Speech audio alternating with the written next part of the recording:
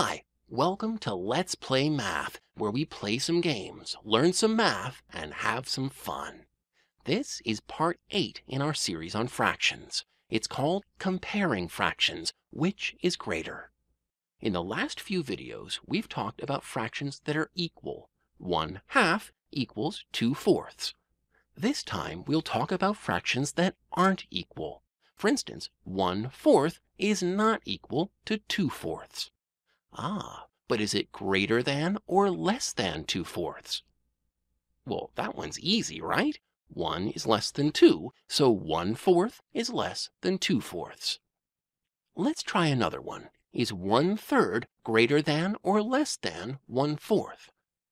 Well, 4 is greater than 3, but let's think this through.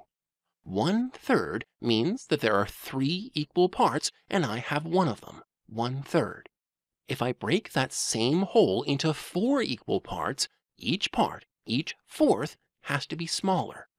So one third is greater than one fourth.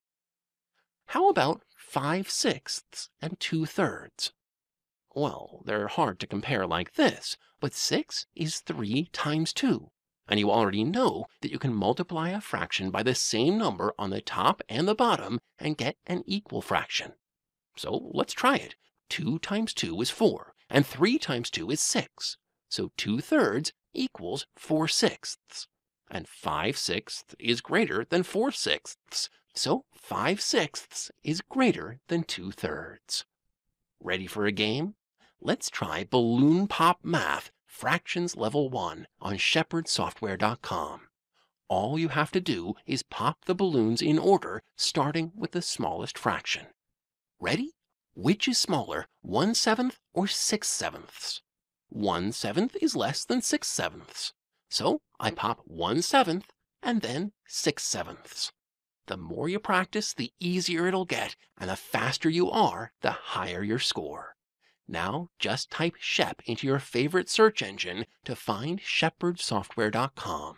Click on Math Games, then on Fractions, and then on Compare Fractions Balloon Pop and try it for yourself. We'll see you again next time for another episode of Let's Play Math.